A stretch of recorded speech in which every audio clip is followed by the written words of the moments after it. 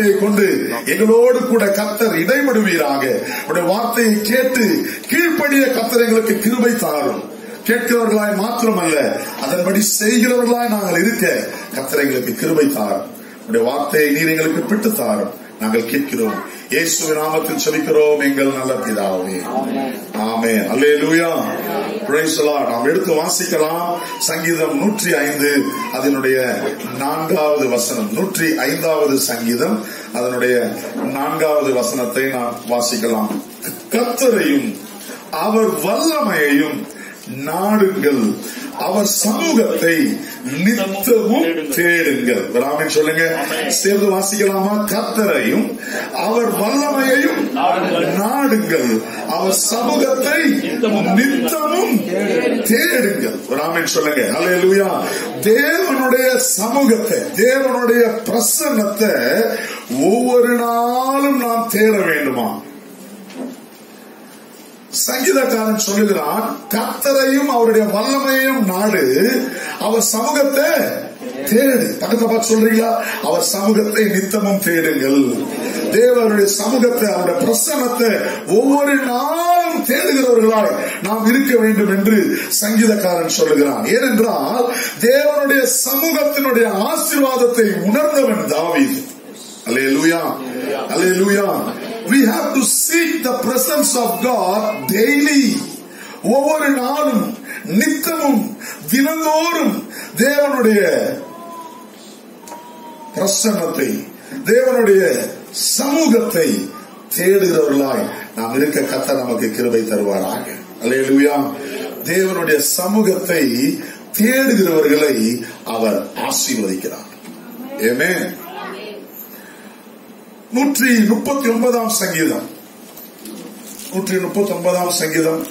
ஏழாம் வசனத்திலிருந்து நான் உங்களுக்கு வாசிக்கிறேன் சங்கீதம் நூற்றி முப்பத்தி ஒன்பது ஏழிலிருந்து நான் விடியற் காலத்து செட்டைகளை எடுத்து சமுத்திரத்தின் கடையாந்தனிலே போய் தங்கினாலும் அங்கேயும் உமது கை என்னை நடத்தும். உமது வலது கரம் என்னை பிடிக்கும். இருள் என்னை மூடிக்கொள்ளும் என்றால் இரவும் என்னை சுற்றி வெளிச்சமாயிருக்கும். உமக்கு மறைவாக இருளும் அந்தகாரப்படுத்தாது. இரவும் பகலை போல வெளிச்சமாயிருக்கும். உமருக்கு வெளிச்சமும் சரி எங்க போனாலும் எந்த இடத்துல நான் இருந்தாலும் தேவனுடைய பிரசன்னம் அங்கு இருக்கிறது. கத்தர் என்னை அங்கு தாங்குகிறார் என்று சங்கீதக்காரர் சொல்றான். அவருடைய பிரசனத்தை விட்டு நான் எங்க போக முடியும்? சமுத்திரத்தில் கடையாந்திரத்திற்கு போனாலும் அங்கே அவருடைய கரம் என்னை தாங்குகிறது. பக்கத்தை பார்த்து சொல்லுங்க. காட்ஸ் பிரசன்ஸ் இஸ் எவ்ரிவேர் தேவனுடைய சமூகம் எல்லா இடங்களிலும் இருக்கிறது. தேவனுடைய பிரசன்னம் எங்கும் நிறைந்திருக்கிறது. நிறைய பேர் சொல்றதுதான். உலகமே தேவ பிரசனத்துல நிறைந்திருக்கிறது. நான் எதுக்கு அவருடைய பிரசனத்தை தேடணும்? அநேகர் இப்படி சொல்லுகிற காரியங்கள் உண்டு. ஆனா வேதம் சொல்லுகிறது சங்கீதக்காரன் சொல்லுகிறான் அவருடைய பிரசன்னத்தை அவருடைய சமூகத்தை நாடுங்கள். டிசையர்லி ஆர்வத்தோட தேட பழகும் பக்கத்தமா சொல்லுங்க தேவ சமூகத்தை நாடுங்க. முழு உலகமும் அவருடைய பிரசனத்தால் நிரம்பி இருந்தாலும் நீங்கள் தேவனுடைய சமூகத்தை நாட வேண்டியது நல்லது. ஒருவேளை இன்றைக்கு நாம் இங்கு சபையாக கூடி வந்திருக்கிறது தேவ பிரசனத்தை தேடி. தேவனுடைய சமூகத்தை நாடி நாம் இங்கு வந்திருக்கிறோம். இது ஏதோ ஞாயிற்றுக்கிழமை ஒரு நாள் நடக்கிற விஷயமா மாத்திரம் இல்ல. ஒவ்வொரு நாளும் சங்கீதக்காரன் சொல்ற நித்தமும் டெய்லி ஒவ்வொரு நாளும் அவருடைய சமூகத்தை நாடுகிறவர்களாய் நாம் இருக்க வேண்டும். தேவனுடைய சமூகம் எங்க இருக்குது? எங்க கத்தர் உயர்த்தப்படுகிறாரோ அங்கே அவர் இருக்கிறார். எங்கே ஒன்று கூடி செபிக்கிறார்களோ அங்கே அவர் இருக்கிறார். எந்த வீட்டிலே கத்தரை நினைத்து கத்தரை ஆராதிக்கிறார்களோ அங்கே அவர் சமூகம் இருக்கிறது. எந்த ஒரு ஆத்மா கத்தரை விசுவாசத்தோடு கத்தெடுத்த விண்ணப்பத்தையும் ஜபத்தையும் துதியும் ஏற்படுத்திக் கொண்டிருக்கிறார்களோ அங்கே அவருடைய பிரசனம் இருக்குது. அப்ப சுருங்க சொல்லனா ஜெபிக்கிற இடத்துல ஆரா ஆராதிக்கிற இடத்துல ஜனங்கள் இயேசுவின் நாமத்தினால ஒன்று கூடி வருகிற இடத்துல தேவனுடைய சமூகம் இருக்கிறது. ஒரு ஆமென் சொல்லுங்க. அல்லேலூயா அதெல்லாம் ஆண்டவர் சொன்னாரு. என் நாமத்தினாலே எங்கு ரெண்டு மூணு பேர் கூடி வந்திருக்கிறீர்களோ அவர்கள் மத்தியிலே நான் இருப்பேன். இயேசுவின் நாமத்தினால இந்த நேம் ஆஃப் ஜீசஸ் அவர் நாமத்தை முன்வைத்து எந்த இடத்துல நாம் கூடி வருகிறோம் அது காடா இருக்கலாம் மேடா இருக்கலாம் அறையா இருக்கலாம் இல்லது வனாந்திரமா இருக்கலாம் எந்த இடமா இருந்தாலும் சரி அவர் நாமத்திலே கூடி வரும் பொழுது அங்கே அவருடைய சமூகம் இருக்கிறது. சங்கீதக்காரன் சொல்றான் அந்த சமூகத்தை நாடுங்கள். அலையலூயா அந்த சமூகத்தை தேடுங்கள். தேவனுடைய பிரசன்னத்தை தேடு. தேவனுடைய சமூகத்தை நாடிவா அது வாரத்துக்கு ஒரு நாள் நிகழ்வு அல்ல அது தினந்தோறும் இருக்க வேண்டும். ராமன் சொல்லுங்க. இப்ப எங்க பாஸ்டர்? எங்களுக்கு இருக்கிற பிஸி ஸ்கெடியூல்ல எங்களுக்கு இருக்கிற வாழ்க்கை ஓட்டத்துல டெய்லிலாம் கர்த்தரை தேடுறதுலாம் முடியாத சம்பவம். அப்படின்னா சொல்லி நம்மள நாமளே தேர்ச்சி கொள்ளுகிறோம். இல்லங்க உங்க வாழ்க்கையில தினந்தோறும் தேவனுடைய சமூகத்தை நாட வேண்டியது உங்களுடைய பொறுப்பு. அதனால நிறைய பேர் சொல்லிப்பாங்க தேவன் எங்கேயும் இல்லையா? நான் இருக்கிற இடத்துல கத்தர் இருக்கிறார். அந்த சமூகம் போதும். ஒருத்தர் இப்படிதான் வண்டியில ஹெட்லைட் இல்லாம பைக் ஓட்டிட்டு போனார். போலீஸ்கார் முடிச்சுட்டு ஏன் வண்டியில ஹெட்லைட் இல்ல. அப்படின்னு கேட்டதுக்கு இவர் கொஞ்சம் வாலிபம் இருக்குது நம்ம பசங்க நிறைய பேர் ரொம்ப போலீஸ் கிட்ட கொஞ்சம் வித்தியாசமா பேசுவாங்க. நிறைய பேர் நாங்க வச்சிருக்கிறேன் அது இந்த அந்த நபர் அப்படிதான் சார் இவ்வளோ வெளிச்சமா இருக்குது. கவர்மெண்ட் இவ்வளவு செலவு பண்ணி லைட் எல்லாம் போட்டுருக்குது. அதுக்கப்புறம் எதுக்கு சார் இந்த சின்ன லைட்டு தேவையா சார்? நல்லா வெளிச்சமா இருக்கிறதுனால நான் வண்டியில லைட் இல்ல. சார் விட்டுருங்க சார். நான் ரெடி பண்ணிக்கிறேன் சார். சொன்னா விட்டு போயிட போறாரு. இவரு கொஞ்சம் இவருடைய அறிவு திறமையை காட்டுறதுக்கு கவர்மெண்ட் நல்லா வெளிச்சமா லைட் போட்டிருக்குது. இவ்வளவு வெளிச்சத்துல என் வண்டி வெளிச்சம் எதுக்கு சார்? அப்படின்னு கேட்ட உடனே இந்த போலீஸ்காரன் கொஞ்சம் விவரமான ஆள் போல இருக்கு. என்ன பண்ணாரு? இறங்கி டயர்ல காத்த போடுங்க ஆரம்பிச்சிட்டாரு. சார் சார், சார் என்ன பண்றீங்க? என்ன பண்றீங்க? காத்து போடுங்க. ஏன் சார் காத்து போடுறீங்க? வண்டி போவாது சார். தலையிட்டு போனேன் சார். ஏடா இவ்வளவு காத்து இருக்குது. எதுக்குடா அவன் டயர்ல காத்து? கடவுள் இவ்வளவு காத்த பூமி ஃபுல்லா கொடுத்திருக்கிறாரு.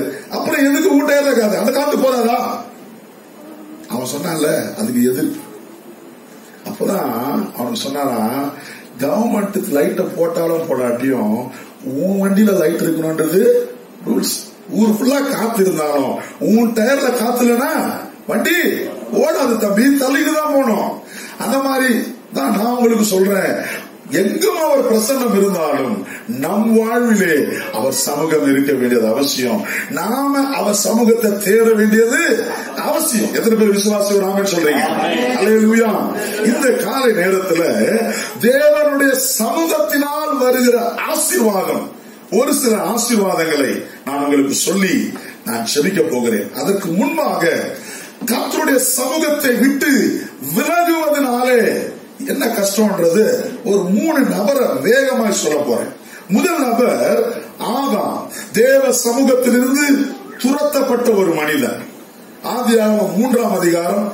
நீங்கள் வாசித்து பார்ப்பீர்களானால் உங்களுக்கு தெரியும் ஆதியாகம மூணாம் அதிகாரத்துல அவன் பாவம் செய்ததினாலே தேவனுடைய தோட்டத்திலிருந்து தேவனுடைய சமூகத்திலிருந்து தேவனுடைய பிரசன்னத்திலிருந்து அவன் வெளியே போகிறான். அவனுடைய பாவம் அவருடைய பிரசனத்திலிருந்து அவனை வெளியேற்றுகிறது. அவன் வெளியில போகும் பொழுது அவனுக்கு இருக்கிற அவனுக்கு வருகிற ஒரு சாபம் என்ன தெரியுங்களா? பதினேழாம் வசனம். பூமி உன்னதத்தும் சபிக்கப்பட்டிருக்கும் நீ உயிரோடு இருக்கும் நாளெல்லாம் வருத்தத்தோடே அதன் பலனை புசிப்பாய். நீ உயிரோடு இருக்கும் நாள் மட்டும் வருத்தத்தோடே பூமியின் பலனை புசிப்பாய். ஆண்டவர் ஆதாமுக்கு வருத்தத்தோட பூமியின் பலனை புசிக்க வைக்கல. ஆரம்பத்துல. ஆரம்பத்துல மகிழ்ச்சியோடு அவன் பலனை புசிக்க வேண்டியதா இருந்தது. இந்த தோட்டத்தில் இருக்கிற எல்லா கனிகளையும் நீ தாராளமா சந்தோஷத்தோட சாப்பிடலாம். அப்படிதான் ஆதாமுக்கு இருந்த ஆசீர்வாதம். ஆனா என்றைக்கு ஆதாம் தேவ சமூகத்தை விட்டு வெளியேற்றப்பட்டானோ சமூகத்தில் இல்லையோ அன்றைக்கே அவன் ஆகாரம் அவனுக்கு வருத்தமாய் மாறியது. எத்தனை பேர் நான் சொல்றது புரியுது? தேவ பிரசனத்தை விட்டு வெளியில இருக்கிறவங்களுக்கு வாழ்வு வருத்தத்தால் நிறைந்த வாழ்வாகத்தான் இருக்கும். அதனாலதான் சங்கீதக்காரன் சொல்றான் நான் என் வருத்தத்தோடு எங்கள் வாழ்நாள் வருத்தத்தோடு இருக்கிறது. ஆயுசு பலத்தின் மிகுதியினால என்பதா இருந்தாலும் சஞ்சலமும் வருத்தம் தான் எங்களுக்கு மிஞ்சி இருக்குது. நான் சொல்றது புரியுதுங்களா? தேவ பிரசங்கத்துல இல்லனா தேவ சமூகத்துல தேடலனா நம்முடைய ஆதாரம் நம்முடைய வாழ்வு வருத்தமாய் மாறும். தேவ சமூகம் இல்லாவிட்டால் வெளியில பாக்குறதுக்கு பகட்டா தெரியலாம் வெளியில பாக்குறதுக்கு ரொம்ப ஆடம்பரமா தெரியலாம் வெளியில பார்க்க நல்லா இருக்கிறத போல தெரியலாம். ஆனால் எந்த ஒரு மனிதனோ மனுஷியோ தேவ சமூகத்துல நித்தமும் காணப்படாவிட்டால் அவருடைய வாழ்நாள் சஞ்சலம் அவருடைய வாழ்நாள் வருத்தம் ஆறாமுடைய வாழ்வில் அது ஆரம்பித்தது. தோட்டத்துல இருந்தவர தேவனுடைய பிரசனத்தில் இருந்தவர அவன் வருத்தத்தோட ஆகாரம் புசிக்க வேண்டிய அவசியம் இல்லை. ஆனால் என்றைக்கு தோட்டத்தை விட்டு வெளியேறினானோ அவன் வாழ்வு வருத்தத்தால் நிறைந்த வாழ்வாய் மாறியது. இன்னொரு நபர் ஆதியாகம நாலாம் அதிகாரம் பதினான்காம் வசனத்துல காயனை குறித்து நாம் வாசிக்கிறோம். ஆதியாகமம் நாலு பதினாலு காயனை குறித்து வாசிக்கிறோம். இன்று என்னை இந்த தேசத்திலிருந்து துரத்தி விடுகிறீர். நான் உமது சமூகத்துக்கு விலகி மறைந்து பூமியில் நிலையற்று அலைகிறவனாயிருப்பேன். எப்ப தேவ சமூகத்தை விட்டு விலகுறோமோ அப்ப நிலையற்றவர்களாய் மாறிப்போம். தான் சொல்றான். உங்களுடைய சமூகத்தை விட்டு நான் விலகுனா நிலையற்ற ஒரு வாழ்வு. நிலையில்லாத ஒரு மனிதனாக நிரந்தரம் இல்லாதவர்களாக தடுமாறிக் கொண்டிருக்கிறவர்களாக மாறி போவோம் என்று காயின் சொல்லுகிறான். யோனா ஒன்னாம் அதிகாரம் பத்தாம் வசனத்துல வாசிக்கும் பொழுது தேவ சமூகத்தை விட்டு விலகி போவதற்கு யோனா பணம் கொடுத்தான். என்னது? தேவ சமூகத்தை விட்டு விலகி போறதுக்கு யோனா என்ன பண்ணா he paid பணம் கொடுத்து விலகி போனான். இன்னைக்கு நிறைய பேர் அப்படிதான் இருக்கிறாங்க. கத்தரை விட்டு விலகிறதுக்கு செலவு செய்யறாங்க கத்தரை விட்டு விலகிறதுக்கு தன் ஆஸ்திகளை செலவழிக்கிறாங்க. ஆனா அந்த வாழ்க்கை எப்படி இருந்தது? அலையும் கொந்தளிப்பும் சமுத்திரம் நிலையில்லாத கடலிலே போடப்படுகிற அளவுக்கு அவன் வாழ்வு மாறியது. எப்ப தேவ சமூகத்தை விட்டு ஒரு மனிதன் வெளியே போகிறானோ அவன் அலங்காரம் வருத்தமாய் மாறுகிறது. எப்ப தேவ சமூகத்தை விட்டு ஒரு மனிதன் வெளியில போறானோ அப்ப அவன் வாழ்க்கையில நிலையற்றவனாய் மாறுகிறான். எப்ப தேவ சமூகத்தை விட்டு ஒரு மனிதன் வெளியில போகிறானோ அப்ப அவனுடைய வாழ்வு கொந்தளிக்கிற வாழ்வாய் மாறுகிறது. எத்தனை பேருக்கு நான் சொல்றது புரியுது? ஆதாம் சமூகத்தை விட்டு வெளியே போனான் அவன் ஆகாரம் அவனுக்கு மகிழ்ச்சியோட இல்ல வருத்தமாய் மாறியது. காயின் கத்த சமூகத்தை விட்டு வெளியே போனான் அவன் வாழ்நாள் எல்லாம் நிலையற்றவனாய் மாறி போனான் யோனா கத்த சமூகத்தை விட்டு புறமே போனான். அவன் வாழ்வு கொந்தளிப்பு நிறைந்த வாழ்வாய் மாறியது. அதனாலதான் தாவிது சொல்றாரு நித்தமும் அவர் சமூகத்தை நாடு. ஒவ்வொரு நாளும் அவருடைய பிரசன்னத்தை தேடு. ஏன் தெரியுமா? அவருடைய பிரசன்னத்திலே ஆசீர்வாதங்கள் உண்டு அவருடைய சமூகத்துல ஆசீர்வாதங்கள் உண்டு. நான் உங்களுக்கு ஒரு மூன்று ஆசீர்வாதம் தேவ சமூகத்தில் இருப்பதனால் வருகிற ஆசீர்வாதத்தை சொல்லி நான் செபித்து நான் உங்களுக்கு முடிக்கட்டும். சங்கீதம் பதினாறாம் சங்கீதம். சங்கீதம் பதினாறு. பதினாறாம் சங்கீதத்தினுடைய பதினோராவது வசனத்தை நாம் வாசிக்கலாம். சாம் சிக்ஸ்டீன் வர்ஸ் இலவன் சங்கீதம் பதினாறு பதினொன்று. ஜீவ மார்க்கத்தை எனக்கு வெளிப்படுத்துவீர். உம்முடைய சமூகத்தில் பரிபூரண ஆனந்தமும் உம்முடைய வலது பாரிசத்தில் நித்திய பேரின்பமும் உண்டு. ராமன் சொல்லுங்க. அலையலூயா அவருடைய சமூகத்துல என்ன இருக்குதா? பரிபூரண ஆனந்தம். சொல்லுங்க அவருடைய பரிபூரண ஆனந்தம். அது எங்க இருக்குது? தேவ சமூகத்துல. அலையலுயா உமது சமூகத்திலே பரிபூர்ண ஆனந்தமும் உடைய வலது பாரிசத்திலே நித்திய பேரின்பமும் உண்டு பக்கத்தப்பா சொல்லுங்க ஆனந்தமும் இன்பமும் உங்கள் வாழ்வில இருக்க வேண்டுமே ஆனால் நீங்கள் தேவ சமூகத்தில் இருக்க வேண்டும் Hallelujah. ஏன்னா in his presence there is fullness of joy. in his presence there is fullness of joy.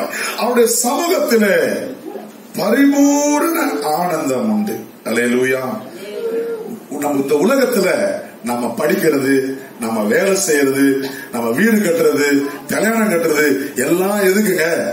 சந்தோஷமா இருக்கணும்ன்றதுக்காக அப்படிதானே? அப்படிதானே? மனுஷன் படுற ஒவ்வொரு பிரயாசமும் எதற்காக? அவன் சந்தோஷமா இருக்க வேண்டும் என்பதுக்காக. ஆனா வேலை சொல்லுது உன் வாழ்வில ஒரு பரிபூரண ஆனந்தம் வரணும்னா நீ படி வேலை செய் எல்லாம் செய் எல்லாத்துக்கும் மேல கத்தருடைய சமூகத்தை தேடு. தேவ பிரசனத்துல பரிபூரண ஆனந்தம் உண்டு. அலையலூயா அலையலூயா ஒரு லாஸ்ட் ஒரு டூ த்ரீ டேஸா நாங்க கொஞ்சம் பேர் இந்த பக்கத்துல இருக்கிற பார்க்ல வாக் பண்ண போறோம். அங்க நான் பார்த்த ஒரு காரியத்தை உங்களுக்கு சொல்றேன். சிரிக்கிறதுக்கு பயிற்சி கொடுத்துட்டு இருக்காங்க. எல்லாம் சேர்ந்து என்ன பண்றாங்க? ஒருத்தரை ஒருத்தர் பார்த்து சிரிச்சிட்டு இருக்கிறான். அதாச்சு மனுஷனால இயற்கையா சிரிக்க முடியல. அதனால என்ன பண்றான்? செயற்கையா சிரிக்கிறான். ஒருத்தரை பார்த்து பார்த்து கையை காட்டி கையை காட்டி என்ன பண்றாங்க? சிரிக்கிறாங்க. அதையே ஒரு பயிற்சியா செஞ்சு ஒரு பத்து இருபது கிறுக்கு என்ன பண்ணுது? சிரிச்சிட்டு கிடக்குது. ஆனா வேதம் சொல்லுது கத்தருடைய சமூகத்துல இருந்தீங்கன்னா உன் வாழ்வுல சிரிப்பு தானாக இருக்கும். ராமன் சொல்லுங்களேன். ஏன்னா அங்க பரிபூரண ஆனந்தம் உண்டு. நீ பயிற்சி எடுத்து சிரிக்க வேண்டிய அவசியம் இல்ல. முயற்சி செஞ்சு சிரிக்க வேண்டிய அவசியம் இல்ல. தேவனுடைய பிரசனத்துல there is fullness of joy லூயா அந்த பார்க்ல போனவங்களுக்கு தெரியும். கொஞ்சம் பேர் சிரிப்பாங்க. பயிற்சி எடுத்து சிரிக்கிறது. தேவ சமூகத்துல நிறைவான மகிழ்ச்சி உண்டு. அந்த மகிழ்ச்சிக்கு சூழ்நிலைகள் காரணம் அல்ல. அந்த மகிழ்ச்சி அந்த மகிழ்ச்சியை வெளியில இருக்கிற எந்த சூழ்நிலையும் பாதிக்க முடியாது. அது உனக்கு உள்ளுக்குள்ளே இருக்கிற உள்ளான ஒரு ஆனந்தம். ராமன் சொல்லுங்க. அது கத்த தருகிற ஒரு மகிழ்ச்சி. அந்த மகிழ்ச்சியை வெளி சூழ்நிலைகள் மாற்ற முடியவே முடியாது. தேவனுடைய பிரசனத்துல ஒரு பரிபூரண ஆனந்தம். அலையலூயா அலையலூயா சங்கீதம் நாலாம் சங்கீதம் ஏழு எட்டு வசனங்களை வாசிக்கிறேன் இதெல்லாம் நிறைய சங்கீதக்காரன் தான் சொல்லுகிறார். சங்கீதம் நாலு ஏழு எட்டு. அவர்களுக்கு தானியமும் திராட்சை ரசமும் பெருகி இருக்கிற காலத்தின் சந்தோஷத்தை பார்க்கிலும் அதிக சந்தோஷத்தை என் இருதயத்தில் சந்தி என் இருதயத்தில் இருக்கிற சந்தோஷத்துக்கு தானியம் அதிக விளையணும்னு அவசியம் இல்ல. திராட்சை ரசம் அதிகமா இருக்கணும்ன்ற அவசியம் இல்ல. அது இருந்தாலும் இல்லாட்டியும் முதல் வாரமும் சந்தோஷம் நான்காவது வாரமும். கடைசி நாள் எங்களுக்கு சந்தோஷம். ஏன்னா இந்த சந்தோஷம் மணியை பொறுத்து அல்ல. காசை பொறுத்தது அல்ல. தானியத்தை பொறுத்தது அல்ல. ஒரு சில இடத்துல பாத்தீங்கன்னா பிள்ளைங்க வீட்டுல சாப்பிட உட்காரும் பொழுது பிரியாணியா? ஆ சந்தோஷம். கை கழுவிட்டு வரும் பொழுதே ஒரு மகிழ்ச்சி. வாசனை வரலன்னு வச்சுக்கோங்களேன் வந்து உட்காருவாங்க. இந்த சந்தோஷம் அது கிடையாது. இருந்தாலும் இல்லாட்டியும் அதிகமான சந்தோஷத்தை கட்ட தருகிறார். ராமன் சொல்லுங்க அது தேவனுடைய பிரசன்னத்தில் இருக்கிறது. அவர்களுக்கு தானியமும் திராட்சரசமும் பெருகி இருக்கிற சந்தோஷத்தை பார்க்கிலும் அதிகமான சந்தோஷத்தை என் இருதயத்திலே நன்றி ராமன் சொல்லுங்க. அலையலுயா எங்க சந்தோஷத்துக்கு எங்க மணி பர்ஸ் காரணம் அல்ல. எங்க சந்தோஷத்துக்கு எங்க பேங்க் பேலன்ஸ் காரணம் அல்ல. எங்க சந்தோஷத்துக்கு எங்க கம்பெனி காரணம் அல்ல. எங்க சந்தோஷத்துக்கு தேவனே காரணம். அவருடைய பிரசன்னமே காரணம். அலையலுயா எது இருந்தாலும் இல்லாட்டியும் எங்களை மகிழ்ச்சியாய் வைக்கிற தேவன் எங்க தேவன். ராமன் சொல்லுங்க. அவருடைய பிரசன்னத்துல அந்த மகிழ்ச்சி உண்டு. There is fullness of joy in his presence. அதனாலதான் பிலிப்பியர் நாலாம் அதிகாரம் நாலாம் வசனத்துல பவுல் பிலிப்பியர்களுக்கு எழுதுகிறார். என்ன எழுதுறாரு? கத்தருக்குள் சந்தோஷமாயிருங்கள். சந்தோஷமாயிருங்கள் என்று மறுபடியும் உங்களுக்கு சொல்லுகிறேன். ஏன் மறுபடியும் சொல்லணும்? சொல்லுங்களேன். ஏன் மறுபடியும் சொல்லணும்? ஏன்னா ஒரு முறை சொன்னா இது புரியாது. புரியுதா? பவுல் எழுதும்போது எழுதுறாரு ஒரு முறை சொன்னா பிலிப்பியர் விசுவாசிகளுக்கு புரியாது. மறுபடியும் சொல்றேன். எப்படி இரு? சந்தோஷமா. யார் சொல்றா? யாருங்க சொல்றா? யார் சொல்றா? பவுல் சொல்றாரு. எங்க இருந்து சொல்றாரு? சிறைக்குள்ள இருந்து சொல்றாரு. புரியுதுங்களா? நார்மலா சிறைக்கு வெளியில இருக்கிற ஆளு தான் உள்ள இருக்கிற ஆளை பார்த்து சொல்லும். கவலைப்படாத. சந்தோஷமா இரு. கொஞ்ச நாள் தான். அப்படின்னு ஆறுதல் படுத்தும். அப்படிதானே? எங்கேயாச்சும் சிறைக்கு உள்ள இருக்கிற ஆள் சிறைக்கு வெளியில இருக்கிற ஆள் ஆறுதல் படுத்துவாங்களா இங்க சிறைக்கு உள்ள இருக்கிற சிறைச்சாலைக்குள்ள இருக்கிற பவுல் சிறைச்சாலைக்கு வெளியில இருக்கிற ஜனங்களை பார்த்து சொல்றாரு சந்தோஷமா இரு. மறுபடியும் சொல்ற எப்படி இரு? ஏன் தெரியுமா? இந்த மகிழ்ச்சிக்கு சிறைச்சாலை தடை இல்லை. ஒரு சொல்லுங்க. ராமன் சொல்லுங்க. பவுலையும் சீலாவையும் துதித்து கத்தரை ஆராதித்தார்கள். ஏன் தெரியுமா?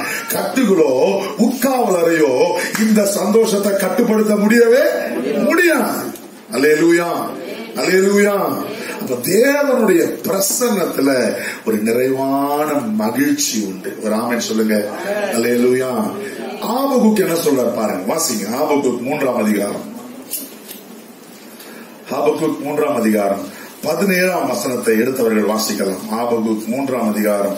பதினேழாம் வசனம். அத்திமரம் துளிர்விடாமற் போனாலும் திராட்சை செடிகளில் பழம் உண்டாகாமல் போனாலும் ஒலிவ மரத்தின் பலன் அற்று போனாலும் வயல்கள் தானியத்தை விளவியாமற் போனாலும் கிடையில் ஆட்டு மந்தைகள் முதலற்று போனாலும் தொழுவத்திலே மாடு இல்லாமல் போனாலும் நான் கத்தருக்குள் மகிழ்ச்சியா இருப்பேன் என் ரட்சிப்பன் தேவனுக்குள் கலி கூறுவேன் சொல்லுங்க.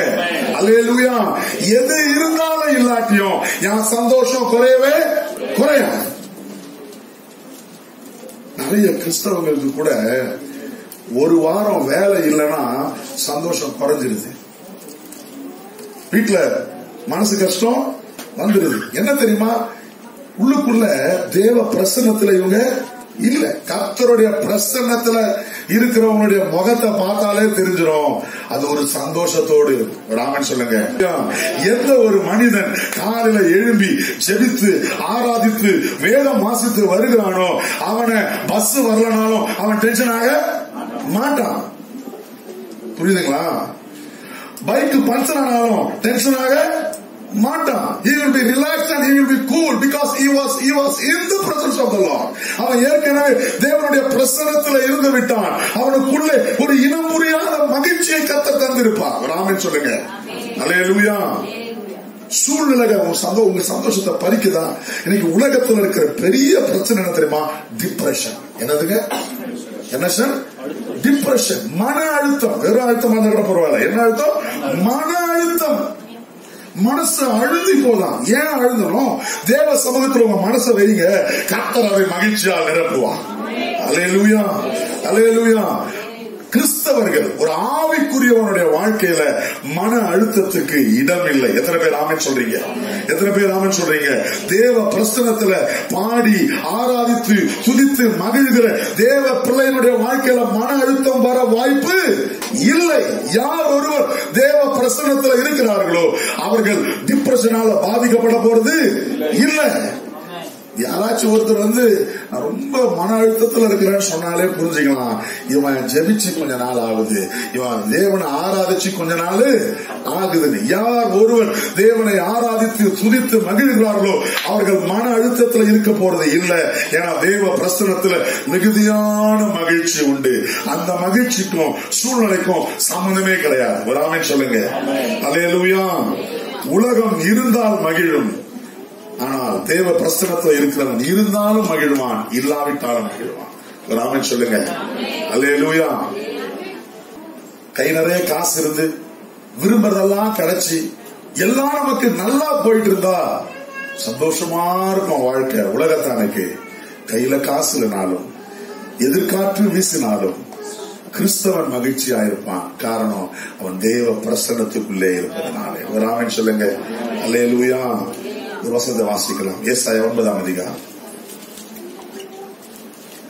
ஏசாயா திருக்கிருஷ்ண புத்தகம் ஒன்பதாவது அதிகாரம் ரெண்டு மூன்று வசனங்களை நான் உங்களுக்கு வாசிக்கிறேன் ஏசாயா ஒன்பது ரெண்டு மூணு இருளில் நடக்கிற ஜனங்கள் பெரிய வெளிச்சத்தை கண்டார்கள் மரண இருளின் தேசத்தில் குடியிருக்கிறவர்களின் மேல் வெளிச்சம் பிரகாசித்தது அந்த ஜாதியை திரளாக்கி அதற்கு மகிழ்ச்சியை பெருக பண்ணினீர் அறுப்பில் மகிழ்கிறது போலவும் கொள்ளையை பங்கிட்டுக் கொள்கையில் கலி கூறுவது போலவும் உமக்கு முன்பாக மகிழ்கிறார்கள். ஒரு சொல்லுங்க.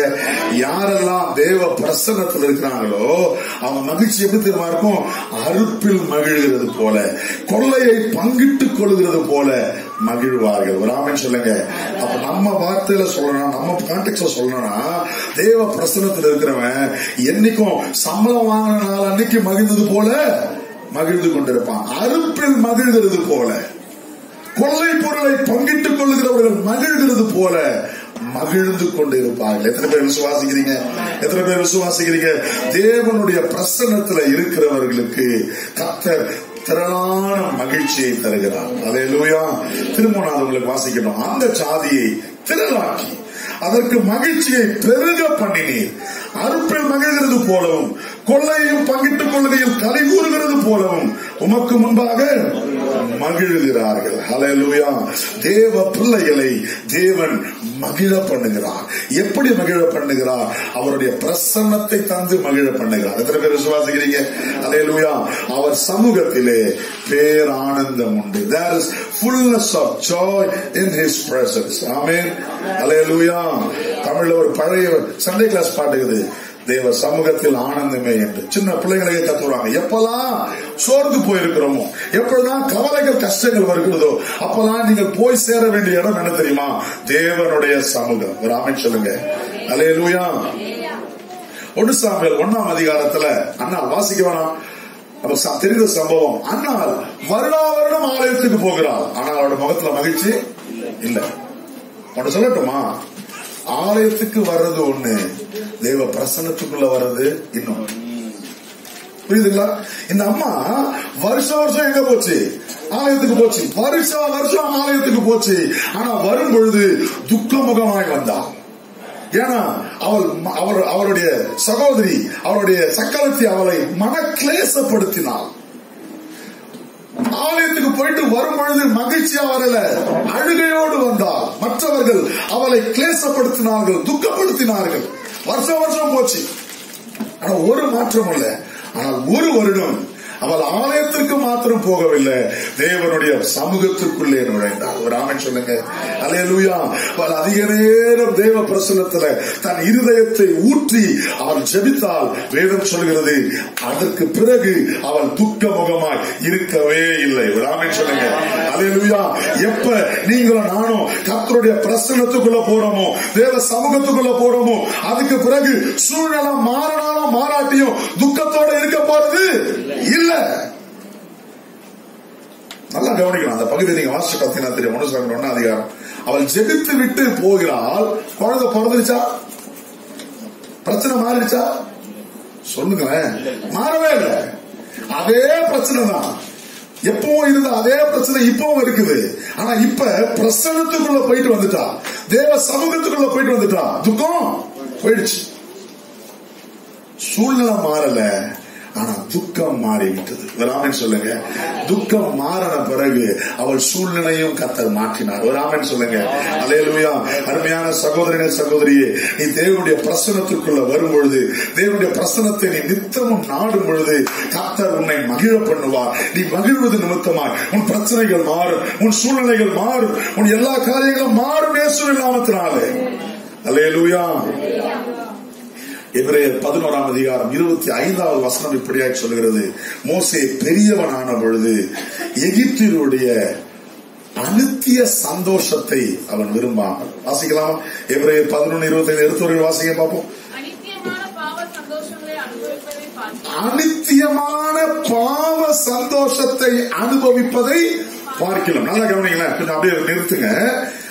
அனித்தியமான பாவ சந்தோஷம். சேர்ந்து சொல்லுங்க எல்லாரும் சொல்லுங்க பார்ப்போம் அனித்தியமான பாவ சந்தோஷம். அப்ப பாவத்திலையும் ஒரு சந்தோஷம் இருக்கத்தான் செய்யுது. பக்கத்தை பார்த்து சொல்லுங்க பாவத்திலையும் ஒரு சந்தோஷம் இருக்கத்தான் செய்யுது.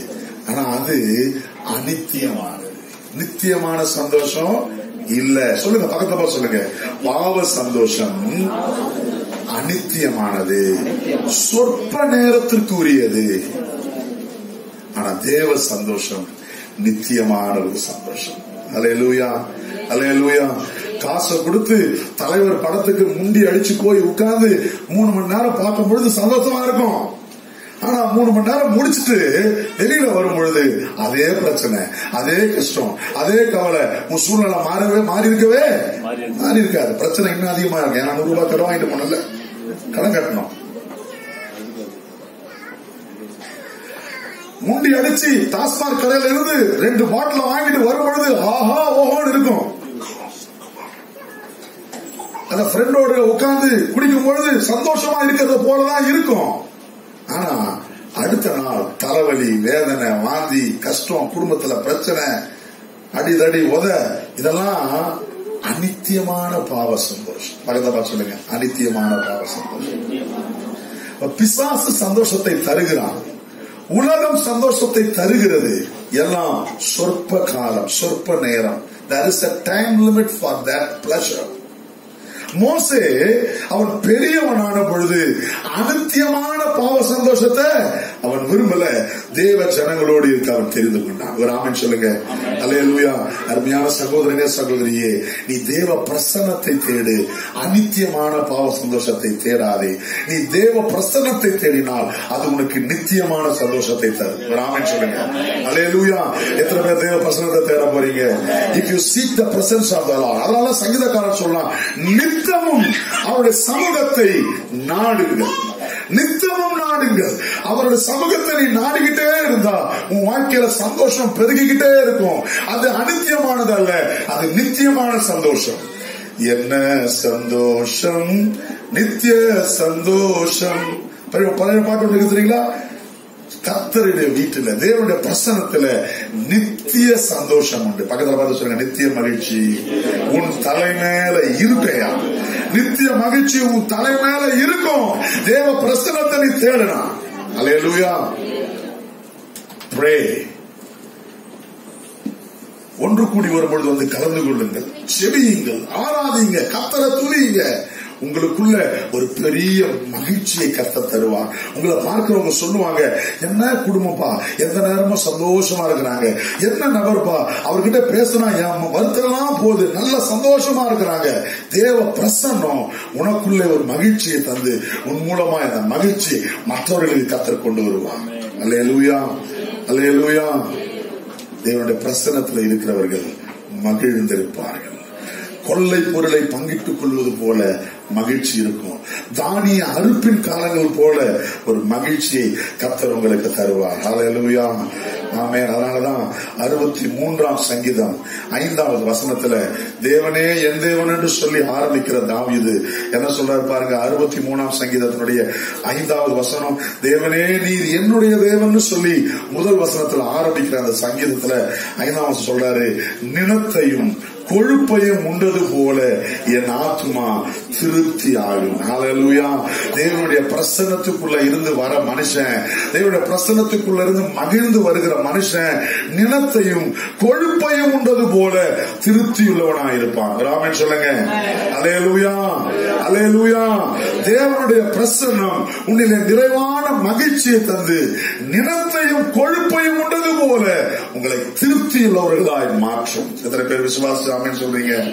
ஆமே அதனாலதான் சங்கீதக்காரன் சொல்றான் தேவனுடைய பிரசனத்தை நித்தமும் நாடுகள் நான் முன்னால சொன்னேன் பிரசனத்தை விட்டு வெளியில போயிட்டா எனது வருத்தத்தின் அப்பம். பிரசனத்தை விட்டு வெளியில போயிட்டா அலைந்து திரிகிறவர்களா இருப்போம். பிரசனத்தை விட்டு வெளியில போயிட்டா கொந்தளிப்பு கடல் சீற்றங்கள் பிரச்சனைகள். ஆனா பிரசனத்துக்கு உள்ள இருந்தா மகிழ்ச்சி. ராமன் சொல்லுங்க. Alleluia there is fullness of joy in the presence of the lord in the presence of the lord dear brother and sister please be stay in the presence of the lord தேவனுடைய பிரசனத்திலே தங்கி இருக்க பழகு. தேவனுடைய பிரசனத்தை நாடு. தேவனுடைய பிரசனத்தை தேடு. அது உன்னை மகிழ பண்ணும். ராமன் சொல்லுங்க.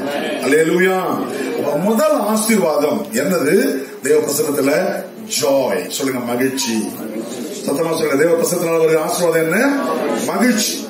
இந்த மகிழ்ச்சிக்கு உலகம் பொறுப்பு அல்ல. இந்த மகிழ்ச்சி உலக காரியத்துக்கு அப்பாற்பட்டது. இந்த மகிழ்ச்சி இயற்கைக்கு அப்பாற்பட்டது. இந்த மகிழ்ச்சி சூழ்நிலைகள் எல்லாம் தாண்டியது. எத்தனை பேருக்கு அந்த மகிழ்ச்சி இருக்குது? சத்தமா ராமன் சொல்லுங்க பாப்போம் அலையலுயா எத்தனை பேர் இன்னும் அந்த மகிழ்ச்சிக்குள்ள இருக்க ஆசைப்படுறீங்க? சத்தமா அலையிலே சொல்லுங்க பாப்போம் be ஒவ்வொரு நாளும் அந்த பிரசன்னத்தை தேடுங்கள். அவன் சொல்லட்டுமா? காலையில எழும்பி தேவனோடு பேசாம வேற யாருக்கிட்டயும் பேசாதீங்க. புரியுதா நான் சொல்றது? வேற யாருக்கிட்டயா பேசுறதுக்கு முன்னால நீங்க யாருக்கிட்ட பேசியிருக்கணும்? சத்தமா சொல்லுங்க. வேற யாருடைய சத்தத்தை கேட்கறதுக்கு முன்னால கத்தருடைய சத்தத்தை கேளுங்கள். எப்படி கேட்க முடியும்? வேதம் வாசிங்க. வேதம் அவர் பேசுகிறது. அல்லேலூயா சோ வேற எதையும் கேட்கறதுக்கு முன்னால எதை கேளுங்க? Read your Bible so that you can hear the voice of the lord தேவனுடைய சத்தத்தை நீங்கள் கேளுங்கள். அதுக்கு பிறகு உங்க வாழ்க்கையை மத்தவங்களோட இது பண்ணுங்க. தேவ பிரசன்னத்துல மகிழ்ச்சி. யார் உங்களை துன்பப்படுத்த நினைத்தாலும் அந்த மகிழ்ச்சி குறைந்து போகவே போகாது. யார் உங்களுக்கு சரி செய்ய நினைத்தாலும் அந்த மகிழ்ச்சி உங்களை விட்டு எடுபடவே எடுபடாது. அல்லேலூயா பசங்க எல்லாம் ஒன்னா உட்கார்ந்து டிவியில மேட்ச் பார்க்கும் பொழுது சந்தோஷமா இருக்கும்.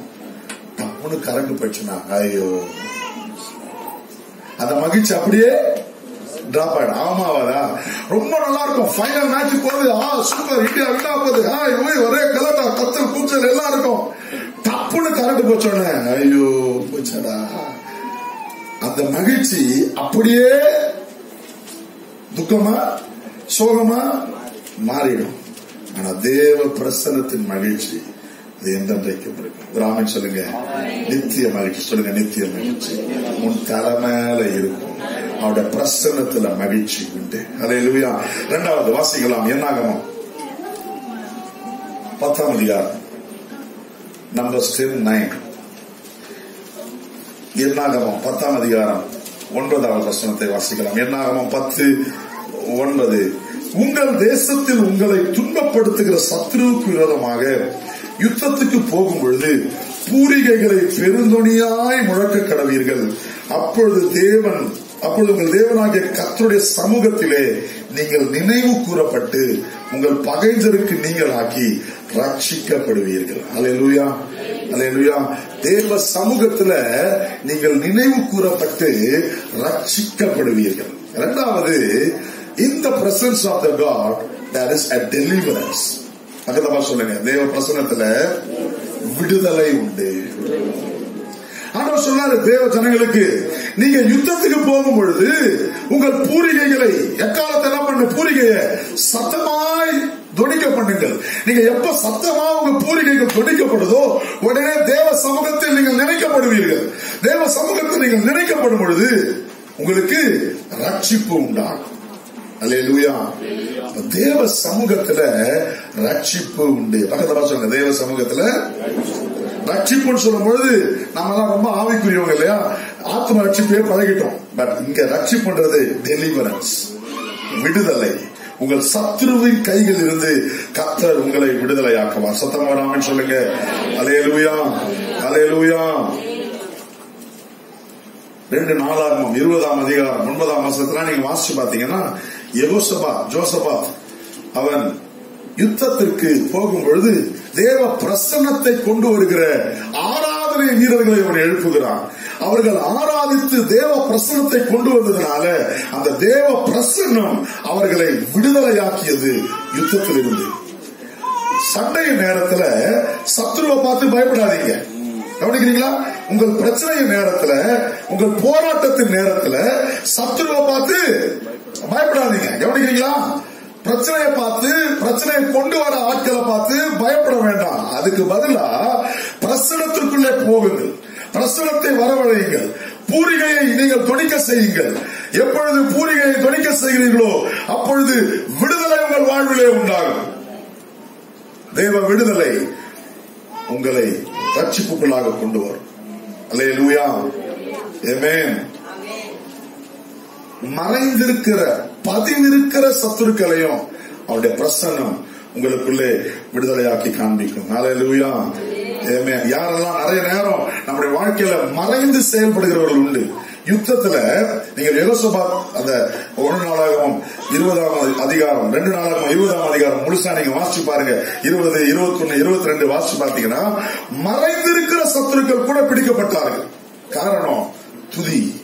தேவனுடைய சமூகம் மறைந்திருக்கிறவர்களை அவர்களுக்கு வெளிப்படுத்தி காண்பிட்டு பல நேரங்களில நாம் அறியாமல் நமக்கு பின்பாக செயல்படுகிறவர்களை நாம் தேவ பிரசனத்துக்குள்ள இருக்கும் பொழுது பதிவிட இருக்கிற சத்துருக்களை வெளியே கொண்டு வருவார். அவர்களிடத்திலிருந்து நாம் விடுதலையாக்கப்படுவோம். எத்தனை பேர் விசுவாசிக்கிறீங்க? சத்தமா ராமன் சொல்லுங்க. அலையலூயா அலையலூயா ஒரு சில நீதிமொழிகள் ஒரு சில வசனங்களை நான் வேகமா சொல்லி நான் வசனத்தை மாத்திரம் உங்களுக்கு சொல்லி போட்டோம். நீதிமொழிகள் மூணு முப்பத்தி மூணு சொல்லுகிறது. நீதிமான் வாசஸ்தலத்துல நீதிமானுடைய வாசஸ்தலத்தை கத்த ஆசீர்வதிக்கிறார் சொல்லி. நீதிமொழிகள் பத்து ஆறு சொல்லுது. நீதிமானின் சிரசின் மேல் கத்தருடைய ஆசீர்வாத தங்கன்னு சொல்லுது. நீதிமொழிகள் பன்னெண்டு ஏழு சொல்லுது. நீதிமானுடைய வீடு நிலைத்திருக்கும்னு சொல்லுது. நீதிமொழிகள் பதினஞ்சு ஆறு சொல்லுது. நீதிமானுடைய வீட்டில் அதிக பொக்கிஷம் இருக்கும்னு சொல்லுது. ஆனா எல்லாத்துக்கும் மேல எல்லாத்துக்கும் மேல. கவனிக்கிறீங்களா தம்பி? எல்லாத்துக்கும் மேல. நீதிமொழிகள் இருபத்தி ஒன்பது ஆறு சொல்லுது. நீதிமான் பாடி மகிழ்கிறான். அலையலூயா எந்த ஒரு நீதிமான் பாடி மகிழ்கிறானோ எந்த ஒரு நீதிமான் தேவ பிரசனத்துல மகிழ்ந்து கொண்டுகிறானோ அவன் வீட்டுல பொக்கிஷம் அவன் வீட்டுல ஆசீர்வாதம் அவனுக்கு தீர்க்க ஆயுசு அவனுக்கு தேவன் ரட்சிப்பை தருகிறான் அல்லேலூயா அப்ப நீதிமானா இருக்கணும்னா தேவ பிரசன்னத்துல இருக்கிறவன் நீதிமான். தேவ பிரசனத்துல இருக்கிறவன் பாடி மகிழ்கிறான். தேவ பிரசனத்தில் இருக்கிற நீதிமான் வீட்டுல ஆசீர்வாதம் தேவ பிரசனத்தில் இருக்கிற நீதிமான் வீட்டுல பொக்கிஷம் தேவ பிரசனத்தில் இருக்கிற நீதிமான் வீட்டுல தீர்க்காயுசு தேவ பிரசனத்தில் இருக்கிற நீதிமான் வீட்டுல நிரந்தர செல்வம். எல்லாம் நீதிமானுடைய வீட்டுல இருக்குது வீட்டுல இருக்குது வீட்டுல இருக்குது. யார் நீதிமான்? யார் ஒருவர் தேவனுடைய பிரசன்னத்துக்குள்ள இருக்கிறானோ அவன் நீதிமான். அலையலூயா எத்தனை பேர் நீதிமானா இருக்க விரும்புறீங்க? அலையலூயா தேவனுடைய பிரசனத்துக்குள்ளே நீங்கள் இருப்பீர்களே ஆனால் கர்த்தர் நிச்சயம் உங்களை ஆசிரியப்பார் நீதிமொழிகள் சாரி சங்கீதம் நூத்தி பதினெட்டு. பதினைந்தாம் வசனம். இப்படியா சொல்கிறது? நூத்தி பதினெட்டாம் சங்கீதம். பதினைந்தாம் வசனம். நூத்தி பதினெட்டாம் சங்கீதம். பதினைந்தாவது வசனம். நீதிமான்களுடைய கூடாரங்களில் நீதிமான்களுடைய கூடாரங்களில் ரட்சிப்பின் கம்பீர சத்தம் உண்டு. கவனிக்கிறீங்களா? ரட்சிப்பின் கம்பீர சத்தம். உண்டு. ம். கர்த்தரின் வலதுகரம் பராக்கிரமம் செய்யும். நீதிமானுடைய கூடாரத்துல ரட்சிப்பின் கம்பீர சத்தம் உண்டு. அதனாலதான் நீதிமானுடைய வீடு ஆஸ்வதிக்கப்படும். அதனாலதான் நீதிமானுடைய வீட்டுல பொக்கிஷம் இருக்கும். அதனாலதான் நீதிமானுடைய வீட்டுல தீர்க்காயுசு உண்டு. நீதிமானுடைய வீட்டுல எல்லாம் இருக்கிறதுக்கு காரணம் அந்த வீட்டுல தேவ பிரசன்னம் இருக்கிறது. கவனிங்க உங்க வீட்டுல ரட்சிப்பின் கம்பீர சத்தம் இருக்குதா? தேவனுடைய பிரசன்னம் உங்க வீட்டுல இருக்குதா? அல்லது காலையில இருந்து சாயங்காலம் வரை ஒண்ணு விட்டு ஒண்ணு ஒண்ணு விட்டு ஒண்ணு சீரியல் சத்தமா ஓடிட்டு இருக்குதா? அப்புறம் எங்க மகிழ்ச்சி இருக்கும்? அப்புறம் எங்க தீர்க்காயுசு இருக்கும்? அப்புறம் எங்க ஆசீர்வாதம் இருக்கும்? அப்புறம் எங்க பொக்கிஷம் இருக்கும்? நீதிமானுடைய வீட்டுல ரட்சிப்பின் கம்பீர சத்தம். ராமன் சொல்லுங்க. அடுத்த வருஷம் சொல்ல நீதிமான் பாடி மகிழ்கிறான். அலையலூயா அலையலூயா உங்கள் வீட்டுல கத்தரை துதிக்கிற துதி உங்கள் வீட்டுல ஆராதனை. அததான் யோசபாத் செஞ்சான். அவன் ஆராதிக்கிறவர்களை நிலைநிறுத்தினான். பதிவிளைவிருக்கிற சத்துருக்களும் பிடிபட்டு போனார்கள். மறைந்திருக்கிற சத்துருக்களும் பிடிக்கப்பட்டு போனார்கள். உங்க வீட்டுல தேவ பிரசன்னம் இருந்தா உங்களுக்கு தெரியாமல் உங்களுக்கு பின்னால பதிவிட இருக்கிற மறைந்திருக்கிற சத்துருக்களும் மாண்டு போவார்கள். உங்கள் வீட்டிலே மகிழ்ச்சி. கர்த்தர் ஆஸ்வதிப்பார். உங்கள் வீட்டு மேல கர்த்தருடைய ஆஸ்வாதம் தங்கும். உங்க வீடு நிலைத்திருக்கும். உங்க வீட்டுல அதிக பொக்கிஷம் இருக்கும். அதெல்லாம் நீதிமொழிகள் சொல்லுது. எந்த வீட்டுல ரட்சிப்பின் சந்தோஷம் இருக்கிற வீட்டில். தேவனுடைய பிரசன்னம் இருக்கிற வீட்டில். இதை சொல்லும்போது நான் உங்களுக்கு ஒன்று சொல்லட்டும். எந்த வீட்டுல குடும்ப ஜெபம் இல்லையோ அந்த வீட்டுல தெய்வ பிரசனம் இருக்க வாய்ப்பு இல்லை. இன்னைக்கு நிறைய குடும்பங்களில குடும்ப ஜபம் குறைந்து கொண்டு வருகிறது. ஆவிக்குரிய ஜெபம் மக்கள் கிறிஸ்தவர்கள் ரட்சிக்கப்பட்டவர்கள் ஆவிக்குரிய சபைக்கு போற நாம வீட்டுல கண்டிப்பா குடும்ப ஜெபம் இருக்கணும். குடும்ப ஜெபம் செய்யறவங்களா ஒரு அலையில சொல்லுங்க பாப்போம்.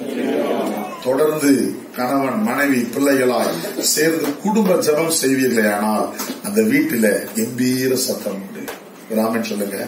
அல்லேலூயா தேவ பிரசன்ன அங்க வரும்.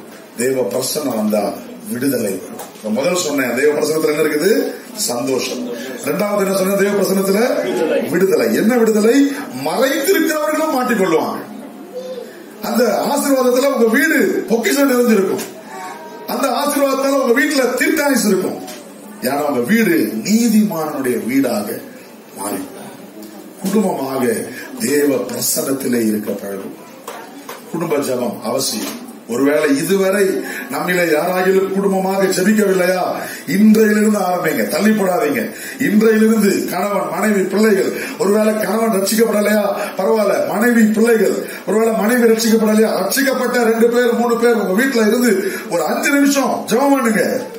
அந்த வீட்டுல கம்பீர சத்தம் வரும். அந்த வீட்டுல கத்தோடைய ஆசீர்வாதம் வரும். ஒருவேளை உங்க வீட்டுல ஓயாம துதியின் சத்தம் இல்லாமல் கம்பீர சத்தம் இல்லாமல் சீரியல் சத்தம் அதிகமா ஓடிட்டு இருந்தா இயேசுவின் நாமத்தால அதை நிறுத்தி போடுங்க. அப்படியா? ரொம்ப கஷ்டமாச்சே.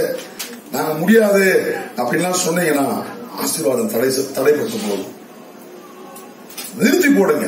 இயேசுவின் நாமத்தினால அதை ஸ்டாப் பண்ணுங்க. உங்க வீட்டுல ஒரு வாழ்- ஆசீர்வாதம் உண்டாகும். Amen. மூன்றாவது நான் சொல்லி நான் முடிக்க போகிறேன். ஒன்னு நாளாகமம்.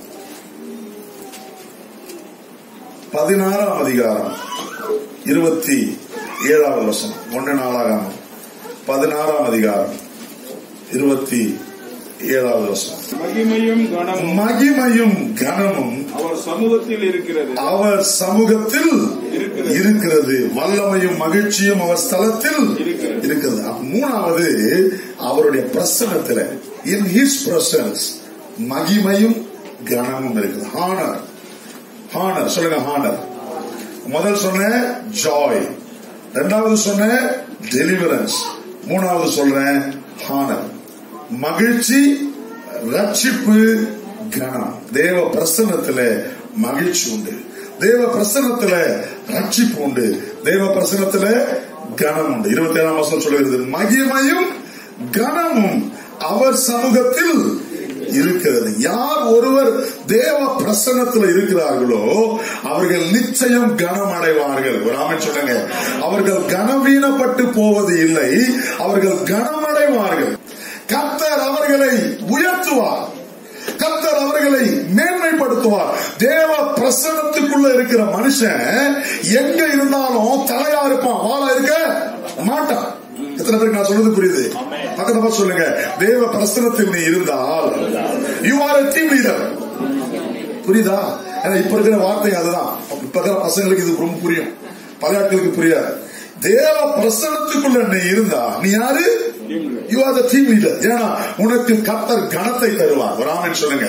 அல்லேலூயா தானியேலை நாம் வாசிக்கிறோம் மூன்று வேளை எப்பொழுதும் தேவ பிரசனத்தில் இருக்கிற ஒரு மனிதன். அவன் தன்னுடைய தேசத்தை விட்டு அவன் புற தேசத்துக்கு பாபிலோன் தேசத்துக்கு அவன் நாடு கடத்தப்பட்டு வந்தாலும் இங்க இருந்து தன் தேசத்தை பார்த்து அவன் ஜெபித்துக் கொண்டிருந்தவன் பிரசனத்தை நாடினவன். என்ன ஆச்சு? எல்லா பிரதானிகளுக்கும் எல்லா அதிகாரிகளுக்கும் மேல கர்த்தர் அவனை உயர்த்தினான் ஒரு ஆமென் சொல்லுங்க.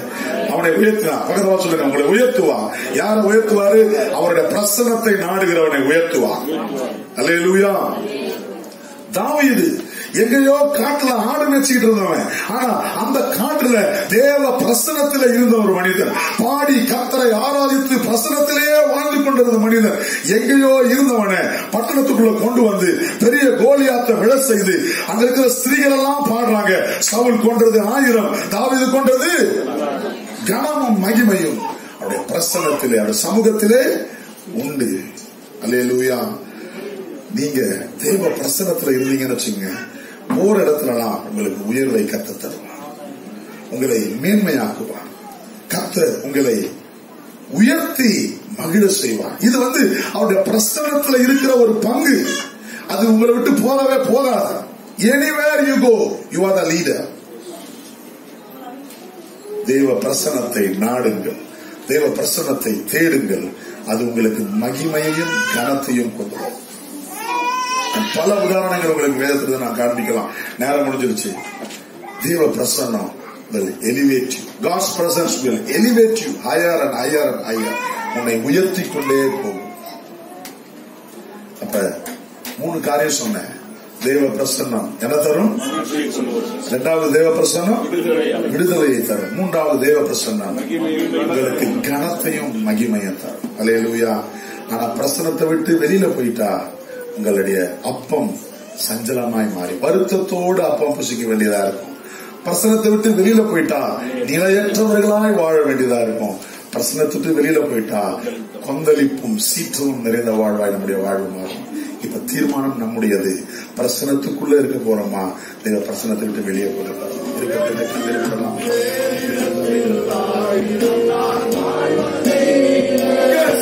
இருக்கிறதை